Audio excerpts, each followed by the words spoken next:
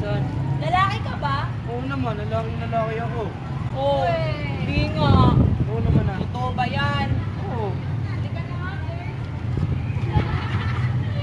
Umalis yung mga yun. Dahil si Maranyo ay isang bakla.